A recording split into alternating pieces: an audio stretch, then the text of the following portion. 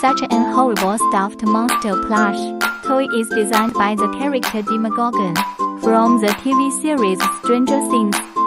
This stuffed monster plush toy doll is made of premium fabric material and stuffed with 100% PP cotton. The demo stuffed animal plushie can be used as a lumbar back cushion, neck pillow, sofa throw pillow,